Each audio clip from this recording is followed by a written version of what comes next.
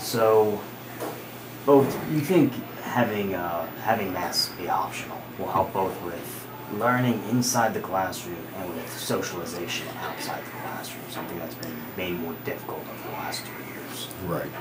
Uh, yes, I absolutely do because the social socialization part of it is uh, very important, and a great deal of that socialization is being able to see each other and express feelings, um, uh, emotions, things of that nature.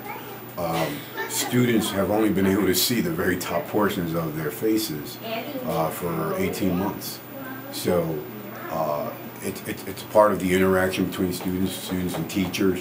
Um, so I think it, th- there was a part missing for all that time that has now been restored. Alright.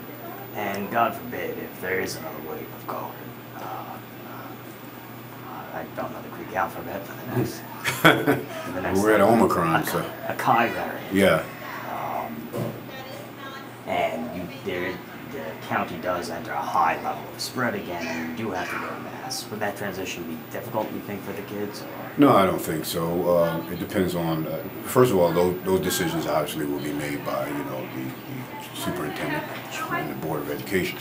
But uh, if it if it's fairly soon, they'll just go right back into what they were doing. They're, they're very used to it. Uh, and our kids are, uh, you know, they they understand. They're they're they're not uh, obstinate. They they know that this is all health related, and it's for their health and their family's health. So yeah, if we had to go back and do it, we, we, we I think we'd be fairly easy to, to return to where we were.